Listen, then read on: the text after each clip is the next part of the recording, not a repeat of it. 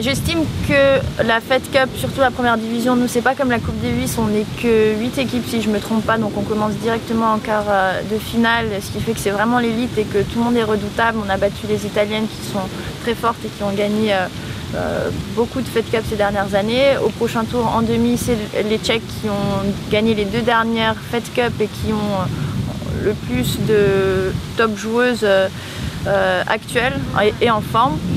Et la finale, honnêtement, pour y avoir assisté, euh, mais je ne sais pas si ça sera possible, j'espère.